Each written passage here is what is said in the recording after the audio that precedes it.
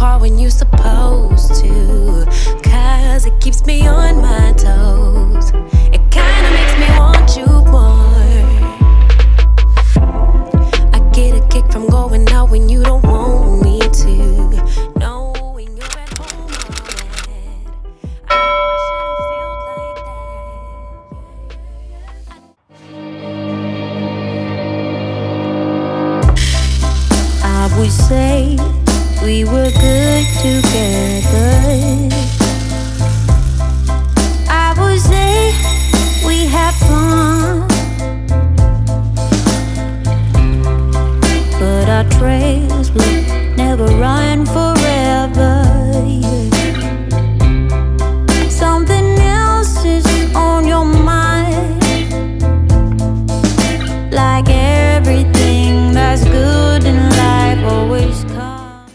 Good morning and welcome back to Maxy's Kitchen. My name is Maxlin. If this is your first time joining us here, I'm super glad to have you over. You're welcome to the family. If you're a returning viewer or subscriber, you're very much welcome. I'm so glad to have you back.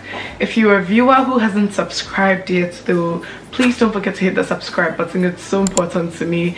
So yeah. So today I'm going to show you what I eat in a day but Ghanaian version. So I'm making like Ghanaian dishes. Okay, so I'm having cocoa, Hausa cocoa, and koose for breakfast. So koose in Nigeria is known as akara. So I'll be making some akara or some koose, and I'm going to have that with instant Hausa cocoa. Um, and then for lunch, I'm going to have stir fry noodles. So like uh, roadside indomie the stir fried one that's what i'm going to have for lunch. And then i am going to have chicken stew and rice for dinner. So that's what this video is about. I really hope you guys enjoy it. Oh also guys i want to thank you for 1k I'm super grateful to each and every single one of you that spoke to someone about Maxy's Kitchen, that told someone about Maxy's Kitchen, that commented, liked, um, you know, used some of my recipes or shared the recipes. I'm so grateful for all of you guys okay? I love all of you guys. You guys know how much i love you. Oh my gosh. Guys i'm lost for words okay? But i love you so much. All of you guys that comment all the time i see you. I see you nadine. I see you michael steven um marian. She's always leaving hearts for me in the comment section. I love you so much. You know I know I've not mentioned everyone. Megan, my sister, she's always commenting. Magdalene, always commenting. Um, if I miss your name, I'm so sorry, but I really appreciate you guys. Just know that I really appreciate you. You guys show me so much love. Belina, she's always commenting, always sending me a message on Instagram to tell me how much she loves Maxy's Kitchen. And Aram, Aram.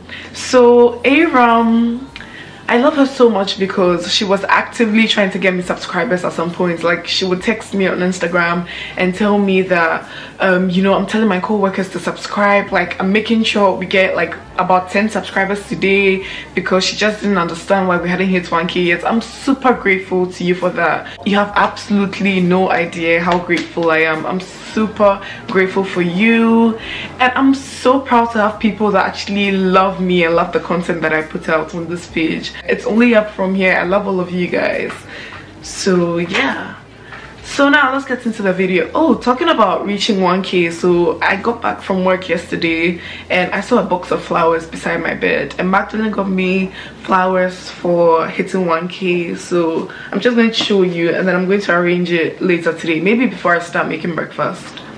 So the thing is that it is 9:58 right now. I already soaked the beans for the kose at 9 a.m um by 10 it should be okay. I'm trying to soak it for an hour but i'm going to bath before i make my breakfast okay? Um i won't show you my flowers too because i'll probably arrange them in the vase before i make my breakfast. So yeah. Oh my goodness guys they're so beautiful so i have a variety of roses i have red i have white roses pink and orange Drifting apart is no use. so it also came with like a flower care card Got the look on your face. It's too hard to explain, but the worst is the pain. guys this bouquet is the prettiest thing ever and the fact that i know that it's going to bloom i'm so excited like i'm going to arrange the flowers now Don't me. yeah. I can hurt you like you hurt me too. one last time for the roses because they're so pretty oh my gosh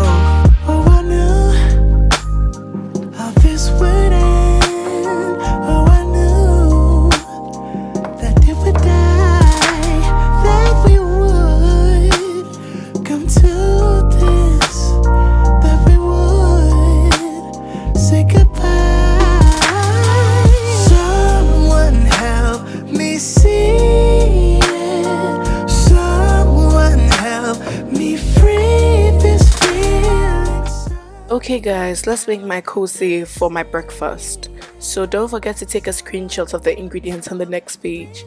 Now to start with, you want to um, blend your soaked beans. So I soaked the beans for about an hour and 30 minutes.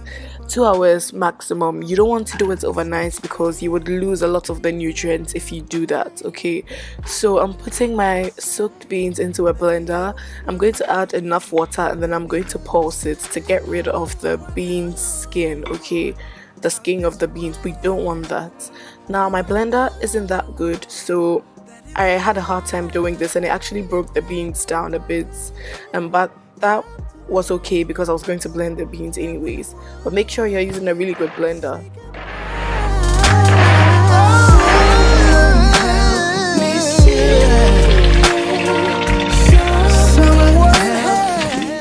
After pulsing, you want to transfer it into a bowl and you want to wrap the beans between your hands um, like you're washing something, okay? And then separate the skin of the beans from the beans itself. So this is what the skin should look like. And the beans should be pure white. It should have no black spots in it. So this is what I got. And this is what we're going to use to make the koose or akara.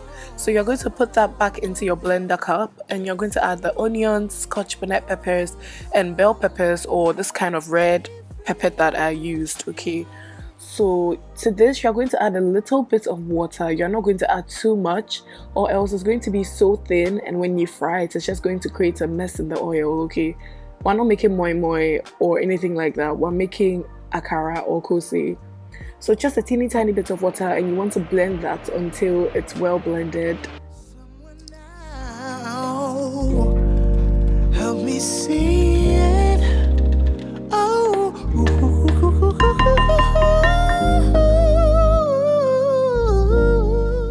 So this is the kind of consistency you want. You don't want anything thinner than this, okay? This is perfect. So to this, we're going to add in salt to taste and shrimp powder.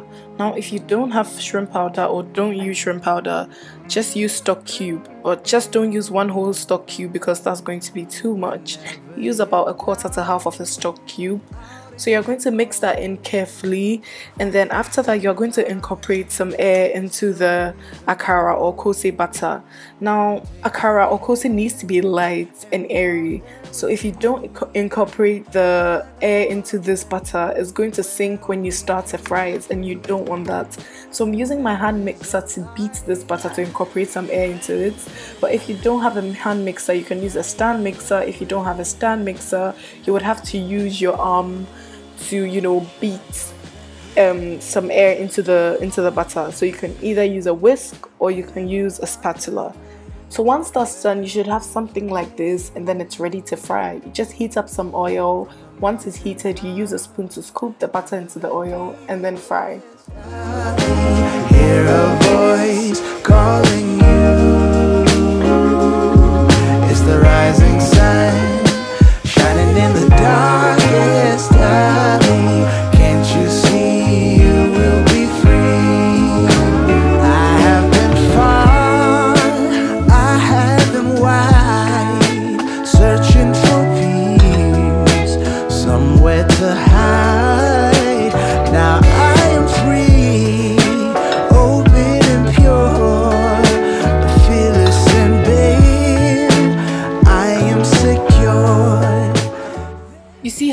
The is floating at the top?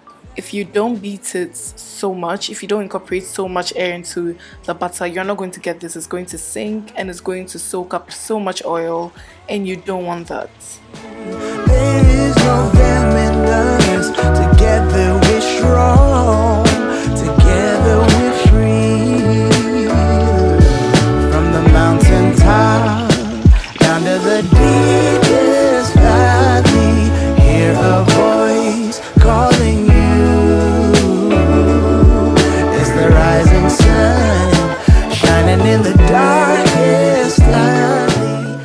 so happy I made them. They were so delicious and so flavorful. This is your sign to make your own koose at home or to make your own akara at home. I know that making cocoa is a bit of a task. I wouldn't even want to go through that. So you can buy your cocoa but then make your koose or akara at home. So I was done frying them and I set them aside and made my cocoa, my instant cocoa. So cocoa is some type of millet porridge that we usually have in Ghana for breakfast. And because I can't make it from scratch, like I said earlier on, I'm just making instant cocoa. So I got this from my mom. Abina brought it to me when she was coming back to school. Um, and I'm just going to follow the instructions on the packet and then make myself and my sister some cocoa for breakfast. I could stare hundred years and I never blink an eye. You were beautiful, just like a flower.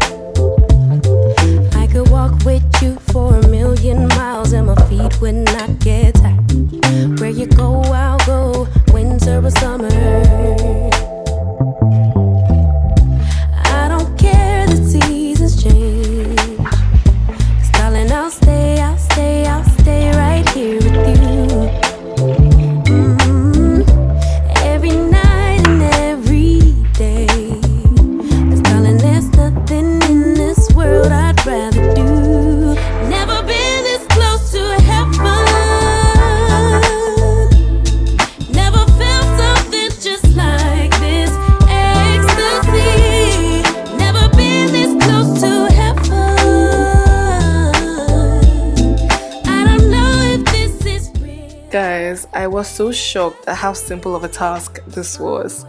Um, to be honest, I prefer the cocoa that they sell on the roadside. If I'm in Ghana, I would get that, but if I'm here, this is definitely a good alternative or like a good substitute. So I just added some sugar and some peanuts and some milk as well, some evaporated milk. Now, this is very much optional, and the peanuts as well.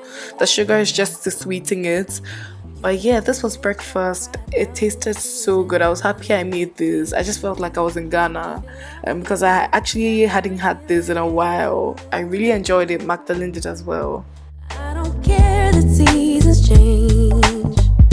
Cause darling, I'll stay, I'll stay, I'll stay right here with you.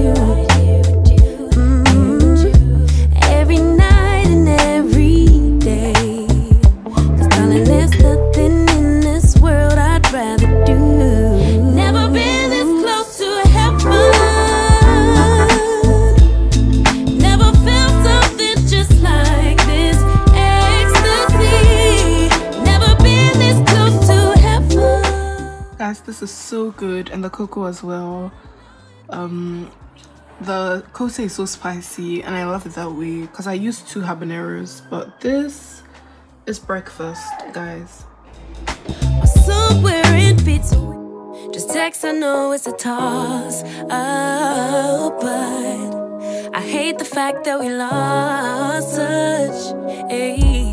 hello guys. So i just finished with the meeting. Actually it wasn't a meeting. It was like a so my foundation manager does this thing where all of his students okay students all of his students um, meets every other friday. So we met this friday for 30 minutes and we just play games okay? So it's like a tutor and his students. That's what it's like. So me and other placement students that are under him so we played a game and my team won. We were in pairs. I won with the guy that i was paired with. Um anyways i was just thinking like my foundation manager said in the meeting that um those of us that haven't used up our how do you call it holidays we need to use it. Like he's been encouraging us to use it. I think a lot of people have actually used theirs but i haven't used mine that much. I have more than 15 days so i was just thinking i think i'm going to take monday and tuesday off just so that i can have a nice long weekend and i'll have like 13 working days left. That's not bad at all. So i'm about to do that. I'm making stir fry indomie for lunch. It's going to be really easy really quick and super flavorful. Okay. I hope the video is coming together nicely to be honest. I normally when i record i can tell how it's going to come together but i'm not sure about this one um i hope it comes out well. Actually after i book the holidays like monday and tuesday off after i take those days off and tell everyone that i work directly with that i wouldn't be in on tuesday and monday i would also create my thumbnail for today's vlog. I haven't done that yet but i've uploaded it. So i'm going to create the thumbnail and then put that on youtube and, and then we'll go and make lunch so yeah i hope you guys are having a great friday. I am. Today is very chill. There's not too much to do. And yeah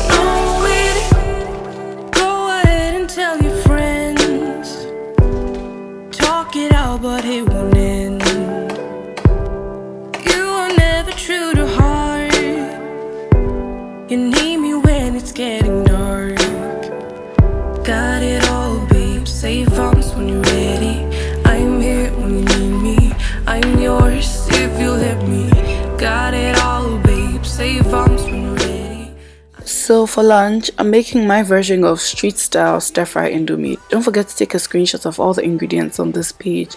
Let's get started.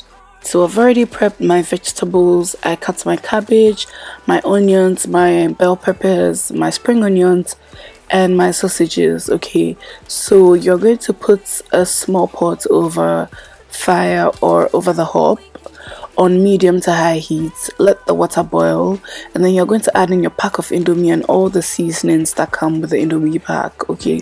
And then you're going to give that a good mix and cook for only about three to four minutes. You don't want it to become soft. It has to be a bit hard um before you stir fry it. So al dente actually.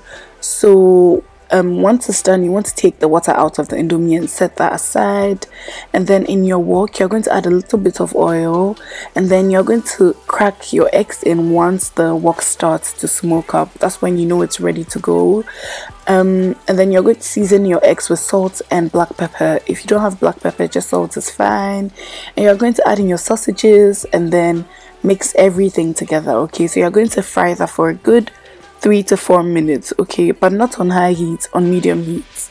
You let go, boy. You don't have to play smart. We can take it slow. You know it. So if you were wondering how I cut my vegetables, this is how I cut them. So I'm added in the onions. I didn't add all of it actually. I added about three quarters of it. I added in all of my cabbage, all of my bell peppers, and then the white part of my spring onions. So all that I have left in the bowl is a bit of onions and the green part of the spring onions. We'll add that at the end. So you're going to add all the vegetables that I've mentioned in and you're going to stir fry very well for about two minutes. And then you're going to add a bit of the sardine oil to the wok and then just one sardine. We're only going to be using one sardine for this recipe, okay? Now you do not want to skip this part. I'm telling you, it adds so much flavor to this dish. So you're going to just use the spatula to mash or smash the sardine and then mix it in very well and then you're going to add in your chili powder. Now i didn't give measurements for this because you can add as much as you like or as little as you want. It depends on your um, heat tolerance okay? So once you've mixed that in you're going to add the noodles in and then just stir fry everything together. If it gets a bit dry just add in a bit of the sardine oil and that will help to loosen things up. And that's basically all you have to do for this recipe over, still getting nowhere. Yeah. If winter blows here, baby. So once you're done, at the end you just want to add in um, the rest of the onions that we saved and the green parts of the spring onions. Mix that for about 30 seconds and you're done. yourself. What's it gonna take for you You guys see how good that looks. Anyways, that's all you have to do.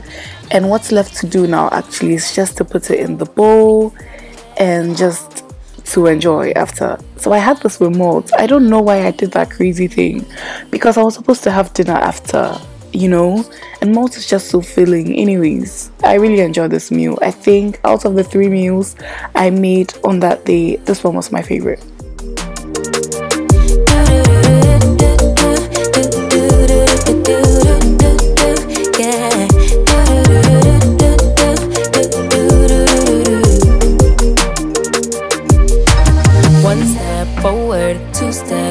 Backward, yeah. Oh my god, guys, I wanted to talk to you about this now. Supermalt hasn't paid me to do an ad for them or anything of that sort, but I just think this is really cool. So, you just have to twist the cover of the Supermalt. You don't have to use like a tin opener, not a tin opener, but like an opener to open it. I think that's really cool. Like, um, but anyways, yeah, I just um went to my room and I really enjoyed this meal. I've been take it slow, but my patience low. Think it's time you let me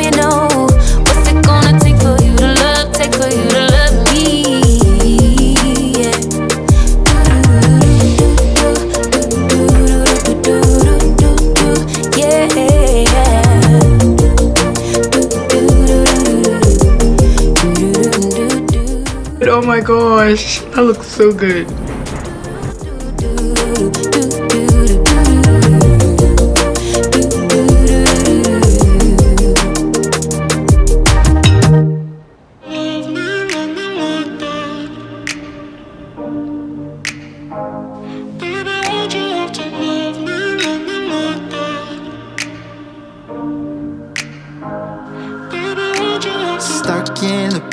Watching videos of us. I have been trying to get rid of your stuff, but voices in my head are telling me to stop. I don't want to react like this is my first time tasting it because I make it like this all the time. This slaps and you need to try it with the sardine, okay? I'm just thinking I have one more to go dinner. Guys, I think I said it in my other what I eat in a day vlog that I don't eat three times a day. Like I never eat breakfast, lunch, supper because I just can't do it. I don't know why I can't. The most I can do is to breakfast and something else. I can't, I can't even do lunch and dinner.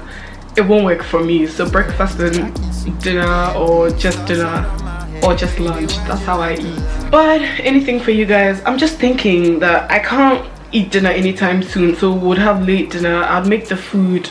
I'll probably start making the food at like 7.30 p.m. and eat at like 8.39 because I'm not, I can't eat soon. Okay?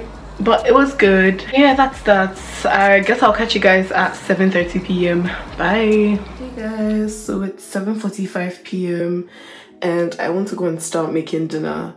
I'm still not hungry but i just want to start cooking now to be honest if i had a choice i would skip dinner but i have to do it or else this video is not going to be complete um so i'm going to make chicken stew with rice. I would make the rice after I make the chicken stew or when the chicken stew is almost done.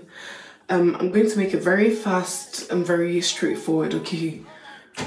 Let me stop talking and then get to work. Let's go. I'm happy the skies are looking like this at 7.45. This just means one thing, that summer is around the corner and I'm really excited about that. Okay, now let's go. Cause I could do, I could do better. I could do, I could do better. So I decided to take all of the dishes out of the dishwasher because they were all dried up and then do the other dishes that were in the sink before I actually started doing my mise en place for the chicken stew.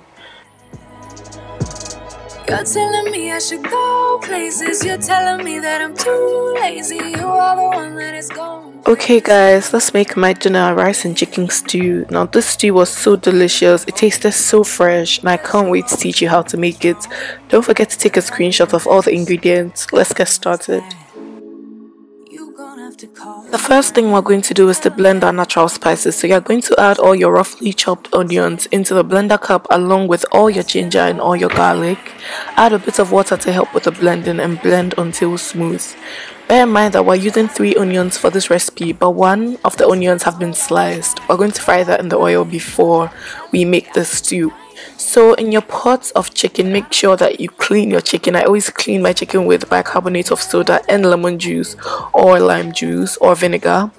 So once you've cleaned your chicken very well, transfer it into a pot. Add about a quarter of the blended spices, natural spices that we just made, and then add in some complete seasoning, Badia complete seasoning, or any all-purpose seasoning of choice, some salt and shrimp powder. Those are the only three other spices I used apart from the natural spices, and you are going to mix it very well with your spatula. And then cover it, let it cook on medium heat for about 5 minutes before you add in some water.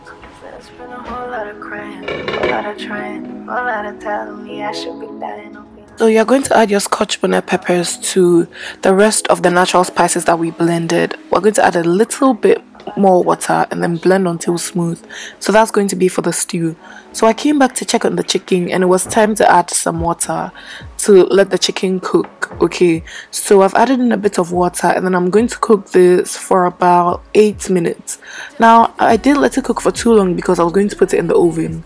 So I didn't deep fry this chicken because I'm not trying to use a lot of oil in this recipe. So that's one hack guys. If you're making chicken stew, you don't have to deep fry the chicken, okay? If you put it in the oven, it's going to come out really nicely. Nothing that they could do, nothing that they could say, nothing that they could do to take all the pain away. Sometimes it works out, sometimes. Just going to pop this in a preheated oven at 185 degrees Celsius for about 20-25 minutes and it should be done by then.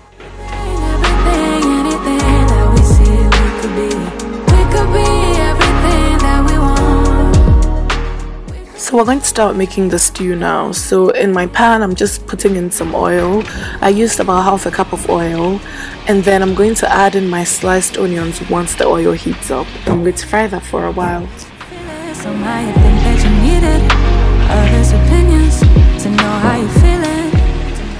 So once your onions have fried and have softened up a bit, you would want to add in your blended mixture of onions, garlic, ginger and scotch bonnet peppers. So you want this to fry for a while because we used a lot of onions and it's going to give this stew a really nice sweet flavor that I really liked. Bear in mind I'm not using tomato paste for this recipe because I just want to use all these fresh ingredients, okay? It tasted so good, trust me. You guys can tell that um, it looks like there's no oil in it and that's because the onions fried for a long time and that's okay. Um, okay you're going to see the oil at the end anyways. So you want to add in your um, tomatoes. So I use canned chopped tomatoes. You can use blended tomatoes like you can get fresh tomatoes and blend them up. Um, so I added my tomatoes and then gave that a good mix and then I just made that sit for a while to cook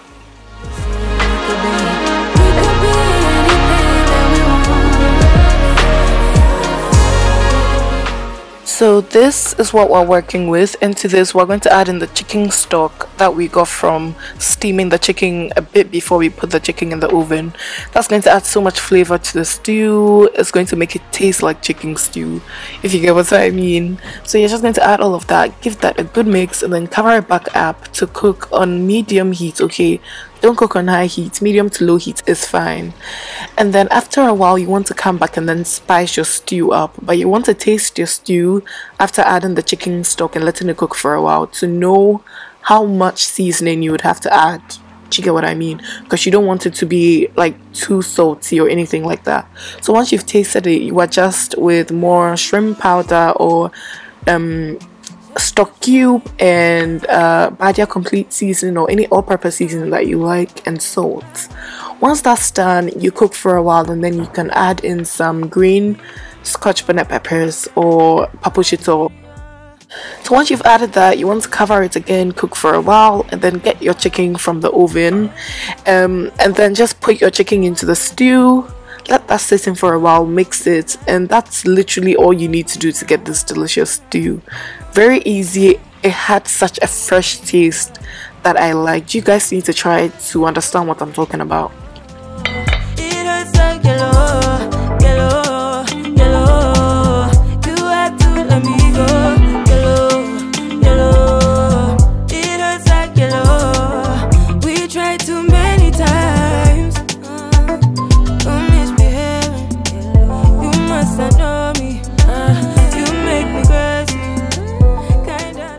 So this was my dinner rice and homemade chicken stew. This stew was so good, guys. I'm still dreaming and thinking about this stew.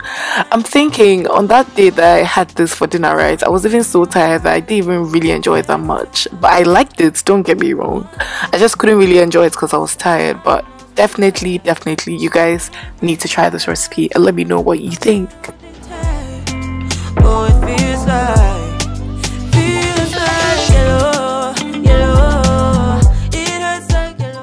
I like that the stew doesn't have tomato paste. It tastes so fresh. You should definitely try this. So you're actually too cute, like what?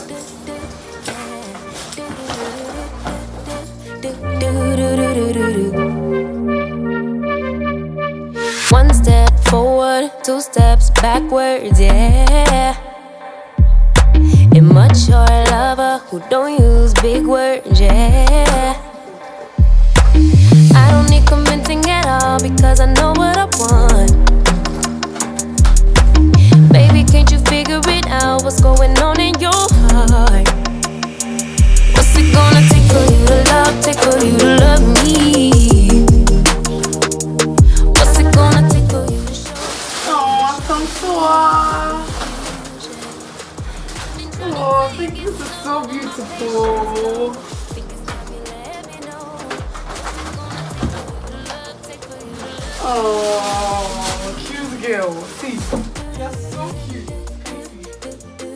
So guys, Asanta got me these cute balloons for Hitowonki and I loved them so much. I have the best of friends guys.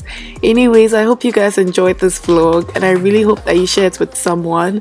I'll catch you in my next vlog. Don't forget to subscribe, like and comment below. Bye! Baby, I fear we disappear Do you even want me? Do you even worry That I'm gonna love somebody else?